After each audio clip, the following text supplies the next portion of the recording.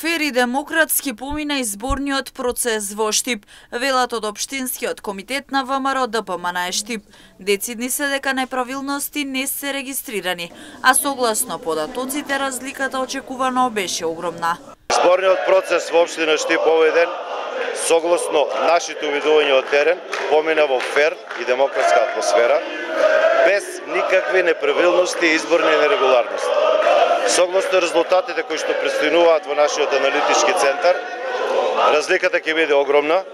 Очекувањето се дека во првиот круг идниот председател на Република Македонија, да, ќе ја направи Македонија повторно горда и ќе имаме во Штип разлика некаде можеби над повеќе од 7000 гласа.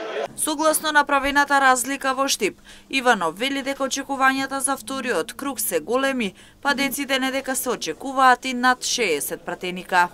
Тоа ни дава за право да можеме да очекуваме во вториот круг, освен што Македонија ќе ја направиме повторно горда, ќе ја направиме и повторно наша и очекувањата се дека бројот на пратеници на ВМРО и коалицијата за Твоја Македонија ќе видат некаде над повеќе од 60 пратеници.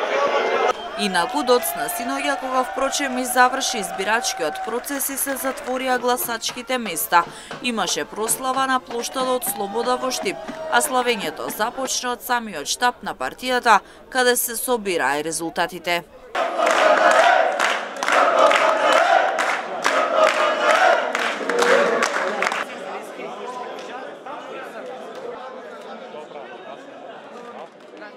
Шти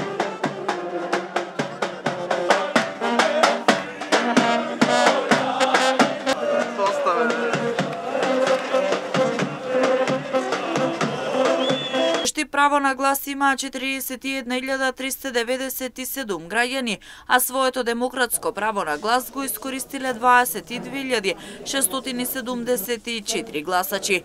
Од нив за Гордана Силјановска Давкова гласале 12.058 гласачи, а за Стево Пендаровски 5.610 избирачи.